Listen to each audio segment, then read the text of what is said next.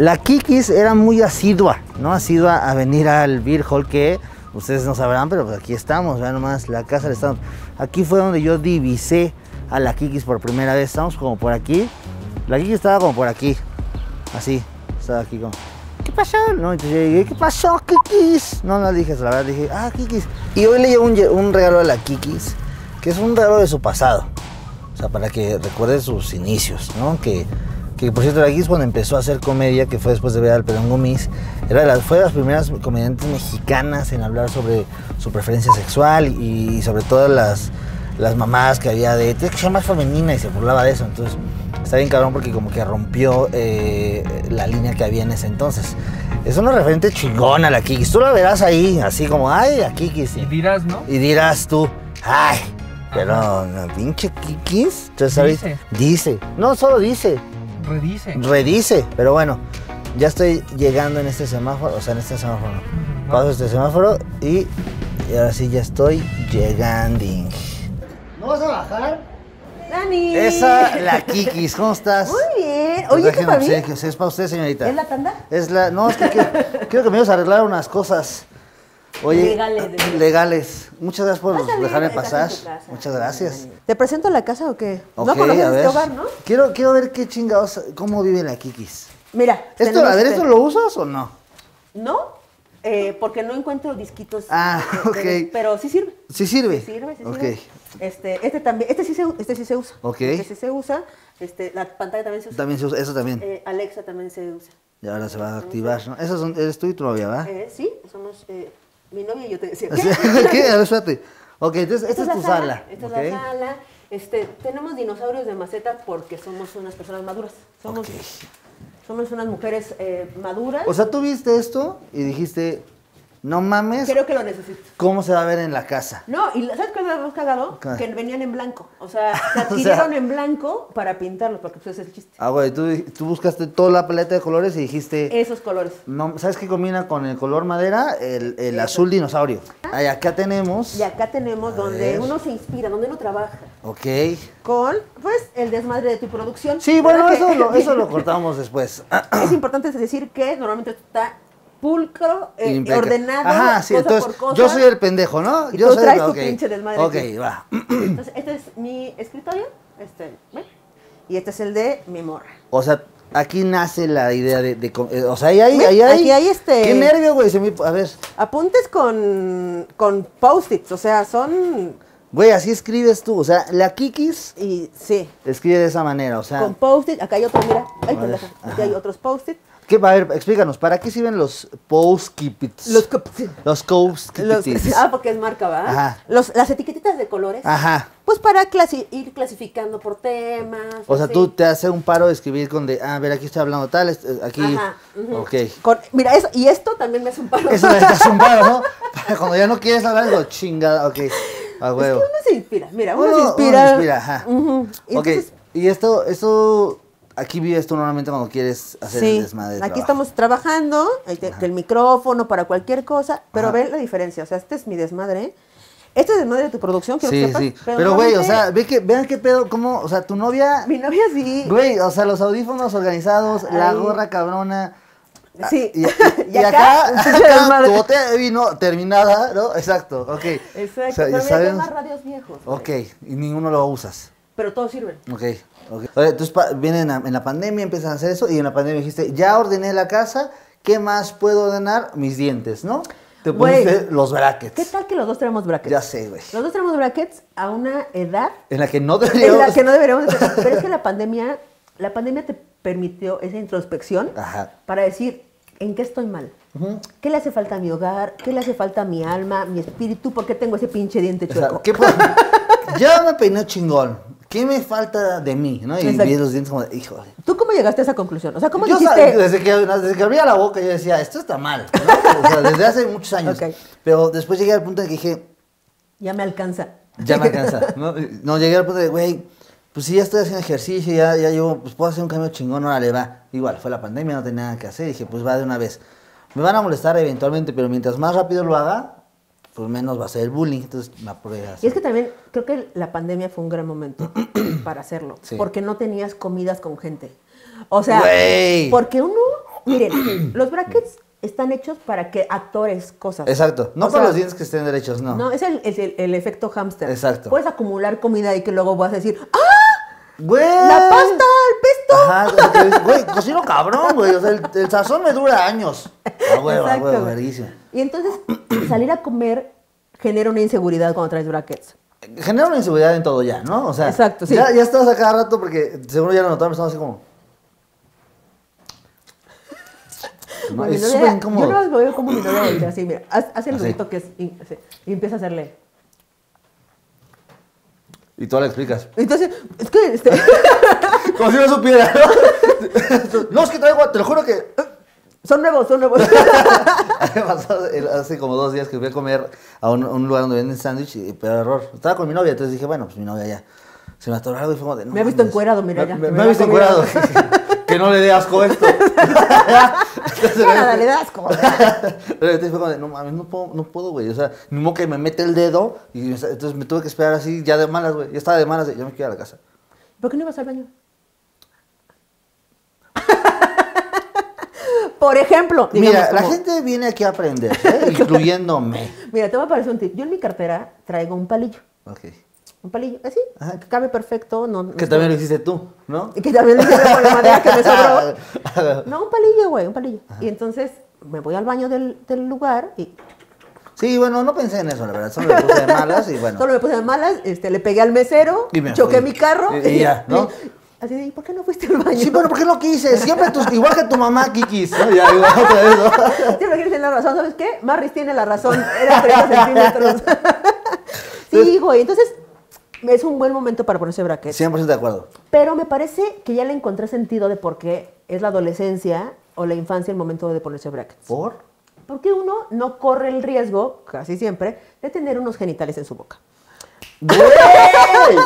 ¡Güey! O sea, estás escribiendo esto, ¿no? No, pero, Pues pero es- me lo voy a llevar, Sí. que sea testigo, por favor, de Aquí que yo está, lo dije. Tienes razón. Entonces en esa edad es como, ¡ah! ¡Bien! No Claro, tengo o sea, peligro de nada. ¿qué es lo peor que se me puede atorar, no? Sí, el sándwich de jamón con mayonesa. Un- una, una, una boob extreme, ¿no? El chile, eso es lo peor que se me puede atorar. bubulubu. El algo, exacto. Ya. Pero, ya. Y de grande, ahí es donde, es que aquí ya hasta demanda puede haber, ¿no? Exactamente, ya- ya, puede haber este, 911. Ajá, ya está el seguro bien implicado. ¿no? Exacto, si te vas a poner brackets, pero contrátame mi seguro de gastos médicos está bien, o sea, y yo creo que hay que darnos un tiempo, ¿no? Exacto. A mí, mi novia también se puso brackets, entonces Ah. era, era como de, fue, fue con cuidado o sin cuidado, tú dime. ¿Y se lo pusieron al mismo tiempo? Sí. Sí, o sea, Híjole. es un pedo porque esto es 100% real, están cambiando cosas en el DEPA y tienen los contactos abiertos.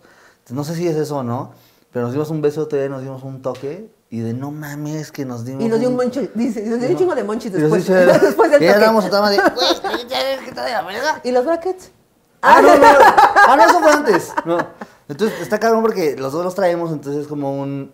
Bueno, con cuidado tú, porque también luego voy yo, ¿eh? Entonces, Pero está, pero está muy bien porque así como que eh, te comprende. Sí. O sea, no es como, ay, ya, güey, te estás quejando otra vez de que No, te duele. y espérate, me pusieron a mí un paladar que no traigo ahorita, pero es un paladar que no me deja hablar, güey. Y es un tensón, entonces está. Ay, yo pensé que sí lo traías. Sí, bueno. ¿Cómo que? O sea, ¿no te ¿sí lo traes? ah, con razón, yo decía, ¿por qué anda como...? No. Sí, pero no lo traigo. Ah, Ah. ah, ok. Oye, espérate, pero ¿esto dónde lo compraste? No, mames, esto lo construimos con nuestras manitas porque somos unas lesbianas ortodoxas. To- del Todo método, está dice, construido, güey. Todo esto es construido, las mesas son construidas. A ver, espérate, o sea, no mames, ¿tú hiciste esto y tú lo pusiste? Ajá, lo pusimos, lo construyó mi novia, porque esto ya lo traía desde antes. Ajá. Lo construyó mi novia, estas, los escritorios los construimos también. Esta mesa también la construimos, que es más alta, Ok. por si necesitamos como, y es movible. Todo se construye Güey, no mames. O sea, lo único que yo he construido es un, algo que hice en la primaria, que es un con sopa de codito. Pero una carrera impecable. Pero una Ah, carrera... ¡Ah! No, te digo que trae. Güey, qué cabrón, qué cabrón que... O sea, porque aparte es más tuyo, ¿no? Pues sí, güey, como que sientes los espacios más tuyos y los sientes más compartidos. Verguísima. No, y aparte sí costó pleitos, ¿eh? O sea, con ¿Sí? sí hubo. sí, pásale, pásale. Ok. esto es- Aguas con la, con la vareta esta que no pase mi perro. Ok. Pero ya pasó. Ah, pásale, puta, pásale. un descuido, güey. y, O sea, en menos de cinco minutos ya me agarró de pendejo tres veces. Muy bien. Mira, esta es la cocina. Es muy pequeña. Ok. Es muy pequeña, pero muy, muy este. Funcional, mira, te voy a, te voy a presumir. Ok. Nosotros construimos pues, estos muebles. También, no mames que también en la La cocina. cocina construimos estos. ¿Cómo chingados me, o sea, cómo hiciste esto? Pues mira, no te voy a explicar en este momento porque nada más tenemos poco tiempo de Ok, entrevista. ajá, sí. Pero con amor. Y Ok. mira, esta es una mesita que se ah. asa y tiene un sistema posicionador Ay, para que güey. pasen las. ¿eh? Ya estamos entalachando ahorita. Muy bien. Y ya. Oye, usted está de huevos porque esto no te estorba. No te porque no lo usas y ya cuando lo usas, ah, verguísima. Exactamente. Fíjate la importancia de ser funcional, ¿no? De, Sí. de- de saber hacer cosas, no nada más estar consumiendo cosas, ¿no? Exacto. ¿No? Y entonces, mira, en estos barrios lo que pasa es que la gente, una de las grandes eh, industrias de, de la banda que vivimos ahí es, son dos, pollo rostizado y se ponen inyecciones. Entonces, Ok, ok, ok. en, la, en la colonia donde vive aún mi mamá, venden pollo rostizado, entonces hay panaderías que venden pollo rostizado, hay... eh, Donde venden los pescuecitos a cinco baros sí, deliciosos. Saludos. Venden, eh, hay tiendas que venden pollo rostizado. Hay gente en su garage que tiene pollos No a la brasa. Hay o sea, ferreterías que venden pollos rostizados. De hecho, hay pollos rostizados que venden Venden pollo, rostizado. rostizado. En la iglesia, de. No dan oblea, dan pollo rostizado. Y como cada cuadra y media, dos cuadras, se ponen inyecciones. No y se viste mames. niños Dios. Vienen juntos siempre. Ah, es la misma doña. El- el- el- es una franquicia de O sea, hay mucho dinero en esa colonia, ¿no? Pero Mucho. de la misma doña. Exacto. Se viste niños Dios, creo que es de las cosas más eh, también de barrio que hay que aceptarlo, güey. O sea, en la, la semana pasada fui a casa de mi familia y estaban mamando de que fueron a vestir al niño Dios. Kiki, te lo juro que te cuentan la historia tan real que te hacen sentir pendejo de que dudes. O sea, te- me estaba mi tía diciendo, es que me di cuenta que el niño Dios se nos cayó y se le rompieron los dedos y a la semana tu tío se machucó los dedos. Y yo, y yo como, es que el niño Dios lo recibe por él. Y yo, no, porque si lo recibiera por No él... se hubiera machucado. No se hubiera machucado los dedos. y tía de, mira Daniel, yo creo en esto, ¿ok? Eso fue bueno, está bien. Claro. Está cool, pero ¿por qué viste al niño Dios de las chivas? O sea, en la Biblia nunca dice que viste al niño Dios. Güey, está muy cagado porque, eh, pues en mi familia no somos tan católicos. Yo soy súper atea, pero. ¿no? Y entonces, pues esas justas cosas que nos dan como un. ¿Por qué la gente gasta en eso? Ajá, o sea, ¿No? O, o cuídate. Sí, o sea, está bien, está bien que creas y todo, pero no delegues, o sea, pobre, también piensa en el niño Dios. Claro. O sea, pinche responsabilidad, el niño Dios es un niño. Es un ¿no? niño. O sea, ese Pero aparte, tengo dos cosas que decir al respecto del niño Dios. Una es que teóricamente, prácticamente más bien, no es el niño Dios. Porque Dios es su papá. Ajá. Él no puede ser el niño Dios. El niño Dios era su papá cuando era niño. Güey, me estoy confundiendo, pero tienes mucha razón. O sea, el niño Dios es el niño, es baby Jesus, es el, bebé Jesús, Jesucito. Exacto, el exacto. El niño Dios es Dios del niño. Exacto. Y luego fui a fuimos a un cumpleaños de un amigo de Marres, de mi, de mi novia. El, el del cumpleaños. eh, Era el niño Dios, dice. Era el niño Dios. De hecho, fue el 24 de diciembre. no, se dedicaba a hacer los vestidos para, para baby Jesus. No mames, es en serio. es O sea, era un sastrecito. Era una, es una industria multimillonaria, güey. No mames. O sea, yo no tenía idea. O sea, cuando dijo, no, es que este, nosotros nos dedicamos, yo dije, ah, ¿es en serio? Cuando te sientes ah, ¿es en serio? Y güey, o sea, sí es una industria cabrona, güey. Y aparte tiene sus tendencias. O sea, este güey nos decía. O sea, hay moda en, el, en los niños. Pero cabrón, güey. Este No güey nos contó todo el pedo, el, como el, el, el behind, ya sabes. Y entonces, este, este güey dice, no, es que a mí se me ocurren cosas bien vergas, ¿no? Y luego ya todos los del mercado lo traen hacen. el puesto. Ajá. Y es una industria choncha de que Y de raro, y- Sí, sí, sí, sí, cabrón. que narcos, no. Ya sabes, de pedir piso, Ah, sí, o sea, sí, de que negocios exitosos así, nivel cabrón. ¿Ves? Cabrón. O sea, que dices, soy un pendejo. O sea, estoy en la industria equivocada. Entonces, esto es 100% de barrios. Entonces, en tu colonia Presidentes, Ajá. había, hay, hay muchos de Hay estos gente que ve niños Dios, este, que no son niños Dios. Ok, de niñitos Jesús. De niñitos Jesús, y ahí se ponen inyecciones y así. Entonces, tú pasas de vivir en ese... Eso, eso fue una O infancia... sea, no hay oxos, pues. O sea, no hay Oxxos. Ah, Eso es lo más referente de barrio. ok. Entonces, vives ahí, tengo entendido que tu infancia fue una infancia sola, pero no triste, una infancia... Exacto, porque sí, me la pasé muy sola porque mis hermanos son mucho más grandes que yo. O sea, no tengo traumas. No, de... es, no es esa historia de, no mames, es que mi infancia estuve sola y... No, no, mira, lo que más que me pasó como pinchón fue que me robaron. Entonces no conozco a mi familia real. ¿Cómo? Se robaron. Entonces crecí con eh, pues, una señora que no era mi mamá. De hecho, yo soy sangre ucraniana, ¿no? Me robaron el IMSS. Me-. Fíjate, si se fue, se fue el programa a la verga. ¿sí? No me hubieras dicho que era mentira y hubiéramos tenido la reacción de. ¿Es robada? O sea, No, ¿cómo sí que- soy robada, güey. O sea, tu cara así de, a ver, un momento. A ver. O sea, me robaron cuando era niña, un robachicos. ¡No mames! Exacto. Sí. Ver. Ah, ok, a ver. Te robó un robachicos. Mira, ¿Te acuerdas cómo fue? Tengo recuerdos, tenía yo como 3, 4 años. No muy mames, ok, a ver. Tengo como flashazos eh, de, de la situación. No fue nada grave, gente, todo el mundo así de, no, no. o sea, sí crecí con mi familia y así. Eh, Que mi familia es el robachicos, ya. Yo tengo la suficiente edad para saber Ajá. que Plaza Universidad fue el primer centro comercial de la Ciudad de México. Ok, wow. Eh, que ahora pues, es una plaza no nice. Era Era el top. El top, Eh, pues, era la plaza- única. Sí, sí, a huevo.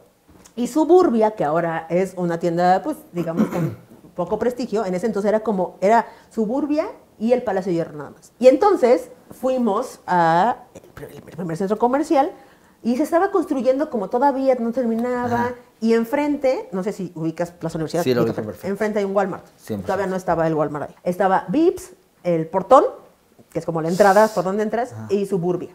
Estábamos en Suburbia y yo tenía la eh, costumbre de estar abajo de los racks. Ya sabes que Todos los niño. niños, sí. Exacto.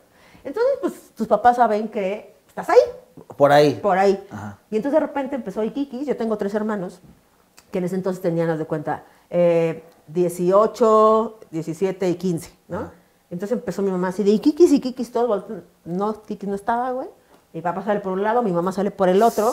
Le pregunta al policía, oiga, una niña, no sé qué. Pero aparte, yo cuando era niña era bastante simpática. Después se me quitó. Ok, sí. Después ya no. Ajá. Pero era como de, yo soy Kikis, ¿tú quién eres? Y ¿sabes? Ah, era como no muy mames, qué pedo, platicadora. qué chingón, de así. Y entonces era un pedo, porque era como, pues, se va a ir con... Cualquier cabrón. Con cualquier. Pinche Kiki. Y entonces, no, pues no ha salido ninguna niña sola aquí, no sé qué. Mi mamá sale por el lado del portón y dice mi mamá que llegó, se iba a regresar, volteó, no vio nada, se iba a regresar. Y en eso algo, Baby Jesus, algo la hizo regresarse y este... Y se regresó, volteó hacia parroquia, que es hacia el Walmart, Ajá.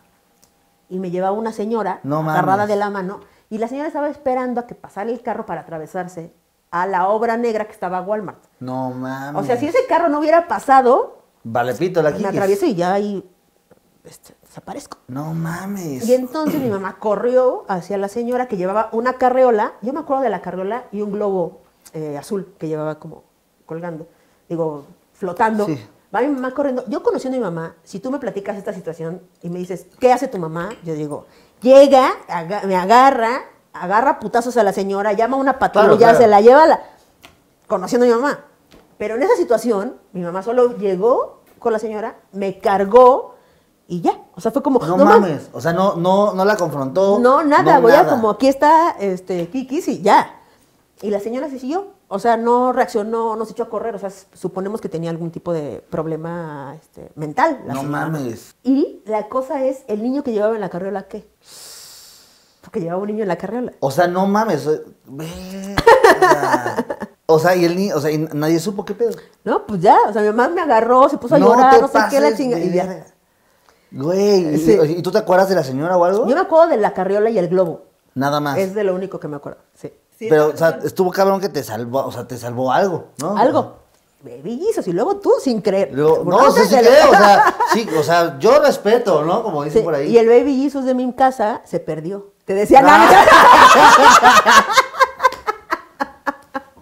Güey, nos, wow. vimos, nos vimos en la necesidad. Ajá, Porque esta cama era la de mi novia, Ok. eh, era su colchón, digamos. ajá. Y entonces cuando se mudó para acá dijimos, güey, es que esta está buena para... Aquí era mi oficina antes de que se mudara. Ok. Esta está buena para la de visitas, pero pones este colchón abajo y ya te quita todo el espacio. 100% de acuerdo. ¿Cómo se soluciona eso? Elevemos la cama. Y te dijo tu novia, yo no tengo poderes. No mames, no, mi morra es la, mi morra es este diseñadora industrial. Ok. Entonces ya no solo tiene el entusiasmo, sino también le sabe. Ok. Entonces, Entonces luego le digo, fue como de, no mames, ya sé, vamos a poner tal, tal, verga, y luego güey". dijimos, pero ¿cómo nos subimos acá? Dijo, ahí tenemos un problema, ¿no? Este, nos va a quedar pues grande el Grande. salto, ¿no? Y entonces construimos esta escalera que está con un desmadre de cosas ahorita, ok. pero que es un closet. O sea, ¡Ay! es ¡Güey! un closet. Es un closet que tiene, y esta es la caja de herramientas. No mira. mames, o sea. Entonces esto ok. es acá, y ya subes, subes por aquí a... No mames, y eso lo hicieron del, o sea, se les En la ocurrió. pandemia, güey. Verguísima. Y luego construimos este mueble, Ajá. Este, perdonen por el desmadre, ¿eh? No. quitan las maderas. Ah, está pero, bien. Este, Pero- construimos esto. Este era mi colchón.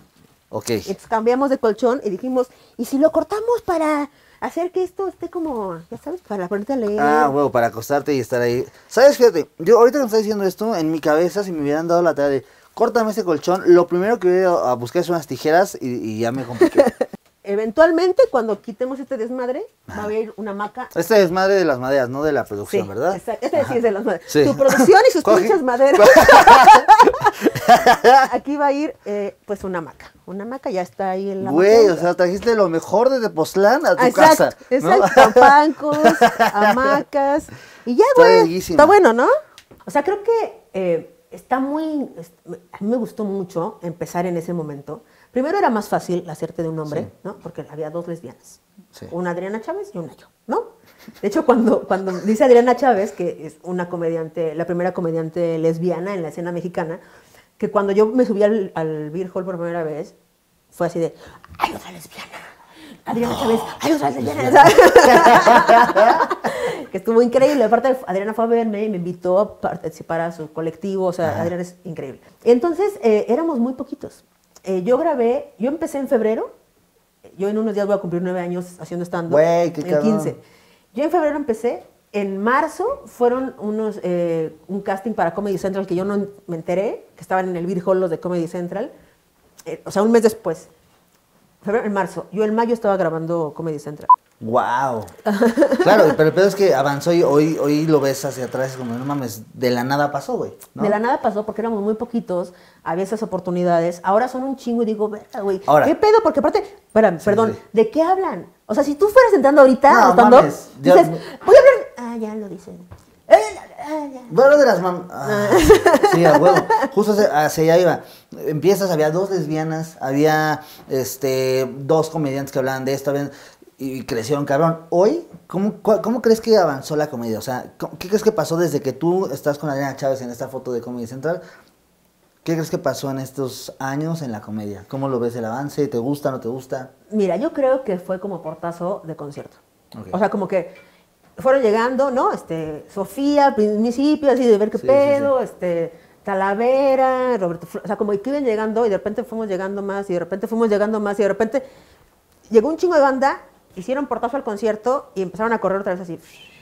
Y se quedaron un chingo en el camino, ¿no? Yo creo que el- la comedia de estando en México es como, les, como escribir un chiste, güey. Güey, tú para tener un chiste bueno escribiste 15 malos. Sí. 15 de la verga, Sí, güey. 100% de acuerdo, o 20, ¿no? Ajá. Y entonces fuiste depurando y depurando. Y creo que la comedia va mucho de eso. O sea, creo que hay un montón de gente y creo que esta carrera no es de velocidad, es de resistencia. Entonces, y se van quedando un chingo y se van quedando un chingo, entonces vamos avanzando más y nos van quedando un chingo. Y creo que así es esta comedia, porque aparte no hay una carrera de que estudies cinco años para ser Sí, no la- neurocomediante. Sí, comediólogo, no soy comediólogo. Entonces sí es mucho de... Y se va profesionalizando y va... Güey, ¿cómo fue el boom de los managers? Sí, no, no, no, no, no, pues qué te digo. Así, las novias de los comediantes. sí, todo el mundo, yo te buqueo, yo te. Pero lo que está chido es que, a ver, empiezas de la nada, empiezas a entender cómo hacer el género, empiezas a escribir y la profesionalización de, de la comedia es algo que yo amo y, y valoro, cabrón, porque yo digo, güey, escribir un buen show, puta, pues sí te tarda un chingo, ¿no? Eh, por ahí hace, un- hace unos, yo improvisé uno del Reyes Magos, pero la gente piensa que nomás es de que me subí a improvisar, como, no, güey, pues ya sé cómo funciona la regla de tres, ya sé cómo funcionan otras cosas, pues te subes y puedes hilar mucho más rápido las cosas, pero es porque ya estás escribiendo un chingo de Claro, cosas. güey. En tu caso, de repente veo de, no mames, la Kiki si hoy le pongo, a ver, escríbeme un show para la marca de teles, cagada de risa lo vas a hacer por la experiencia. Entonces yo digo, veníamos de, una, de unas generaciones en los 90s y los 80s de comedia donde era mucha comedia de sketch, era mucha referencia eh, a personajes más fársicos que de comedia, y de repente ver que, que ya gente como tú, como ge- gente como el tío Robert, como, como el cojo, tienen esta estructura de, güey, pues sí es un show, pero lo tengo que escribir. Pues sí es un Claro. programa, pero tengo que escribirlo. Me da como este pedo de, güey, así es la comedia. Claro. O sea, así es. Me gusta que hoy en día hay mucha popularidad. O sea, hoy ya hablas de stand-up y la gente entiende. Güey, ¿te acuerdas cuando teníamos que preguntar en cada show, ¿alguien ha visto stand-up? Sí, no ¿Saben qué es el stand-up? Sí, y entonces tenías sí, que hacerte sí. un speech de los primeros dos minutos del show, era explicando qué ¿Qué era el stand-up. ¿Sabe qué vengo a hacer? Por lo que pagaron, bueno, les explico. Y explicábamos qué era el stand-up. ¿Y cómo a la gente no le, no le gustaba, eh? O sea, ya que le explicas, decían, ¿cómo? ¿No vas a contar chistes? Yo venía a ver el del chivo de no sé qué. ¿no? Exacto. A mí me pasaba cuando, ¿no vienes a hablar de las mamás? Y yo, no, güey, o sea, es el stand-up. Ah, Sí, claro. puta. Y entonces, como fuimos como evangelizando a la banda para que estuviera disponible a escuchar a alguien que está hablando eh, de sus cosas, de sus puntos de vista, de su lo que sea. Fue una chambota. Y obviamente ya después de haber esa chamba de que esto es, ya llegan más personas, Exacto. ya con el tema de, pues ya saben que esto ya lo hago. Entonces es un- una pulida, sin albur, que pues les corta de camino. Sí, creo que, creo que los, o sea, que lo acabo de ver. O sea, pulimos como el camino con todos los, ¿saben qué es el stand-up? ¿No? Así. Y luego vino banda, como Sofía, por ejemplo, que nos dijo, y se puede llenar el Auditorio Nacional. Exacto. ¿No? Entonces, ¿cómo, güey? No, Franco, que es como, y también la Arena México. Sí. Y se pueden hacer giras por el mundo, podemos ir a Japón. Y dices, ¿qué? O sea, como que se vieron los dos frentes a pues abrir camino y creo que no pudo haber existido uno sin el otro. 100% de acuerdo. Y creo que está chingón. O sea, a mí me parece que entre más gente entre, entre al stand-up, justamente se va empujando la flecha. Pero sí, eran personajes, eran este, chistes de, de Polo Polo, de Pepito, lo que sea. eh, y, y justamente creo que llegamos a irrumpir en ese medio. Y sí hubo putazos, ¿no? Y sí hubo... ¿no? Pero ya vimos que son cosas diferentes y que hay público para todos. Pero también, por ejemplo, eh, ser mujer en la comedia es otro tema, güey, porque la comedia, los referentes femeninos en la comedia eran gente, mujeres que se disfrazaban o de borrachas, o de prostitutas, o de pelangochas, ¿no?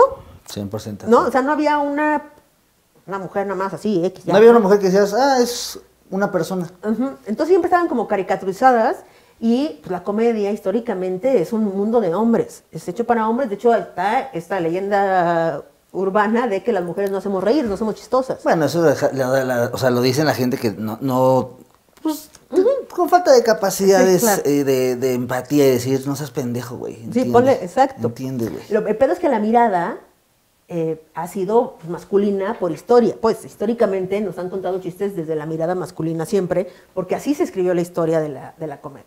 Y entonces cuando llegas a hacer stand-up, que eres tú contigo, más allá, y ya hay tus chistes, güey, pues es irrumpir en un mundo en el que no está hecho para ti.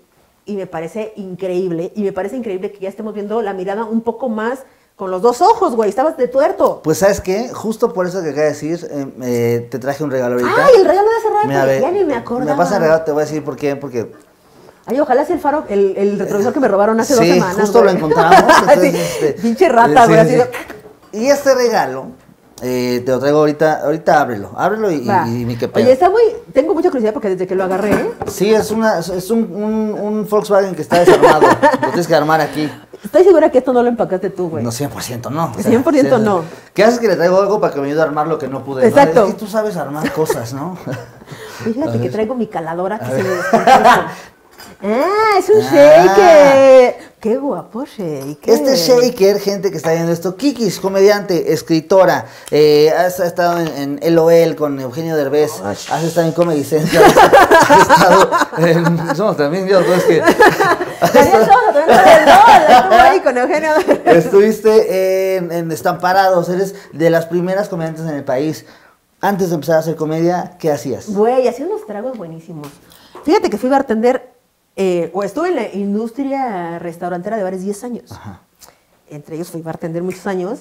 Y, ¿sabes de qué conocí ahí? A Diego Sanasi. ¿En serio? Esta historia creo que tampoco nunca se ha contado. A ver. Yo trabajaba en el Pata Negra. Ajá. Ubicas el Pata Sí, Negra. lo- lo- poco, pero sí. Sí, sí. De lo, Poco, que, me- de lo de que lo me que me acuerdo. poco. Es un bar muy famoso en la, en la Ciudad de México, porque aparte está en la Condesa, que es una zona muy famosa. Eh, y tiene dos pisos. Sí. Yo trabajaba arriba, donde se baila y es un Sí, pinche sí. antro. Trabajaba de bartender ahí. Y ahí conocí. Mi cliente frecuente, uno de mis clientes, era Diego Sanasi. No mames, ¿en serio? Entonces, Diego Sanasi, que yo no lo conocía, yo era bartender, él llegaba conmigo, porque yo ya sabes, tragos con fuego. Sí, y, sí, sí. y esa madre de, agarra el popote y luego sé qué, y luego el shake, y luego agarra la copa. ¿Sabes? Ese tipo de juegos. Ajá. Y Diego Sanasi llegaba con sus cuates, eh, hace- eh, te estoy hablando de hace 10 años, güey, o No 9, mames. o sea, un Ajá. chingo. Este, no, como 10 años o más. Llegaba Diego Sanasi con sus cuates, siempre ya conmigo, a que yo le hiciera este tipo de mamadas, eh, bueno, Sí, tragos, sí, sí, ¿no? Bueno, quien sus Bueno, vicios en el. Había que vivir, había que vivir, la propina. Y, este, y era un gran cliente, era un gran cliente porque me pedían los tragos eh, sin preguntar, ¿y cuánto cuesta eso? ¿Ya sabes? Sí, sí. Eh, Me pedía muchos tragos, siempre daba propina, nunca se iba sin pagar, siempre era buen pedo, buena onda. Y luego me lo topé ya yo haciendo de, ¿no eres el amo de los Lamborghini? Exacto.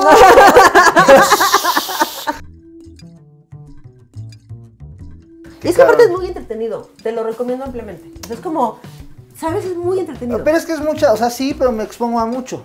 ¿A qué? ¿A qué? A que lo haga mal y esté haciendo mi, mi empanizando mi milanesa y de nada recogiendo mi milanesa del piso porque no puse el quitar clavito. La barra, que es muy sencillo, ¿eh? También hiciste la barra. Sí, claro.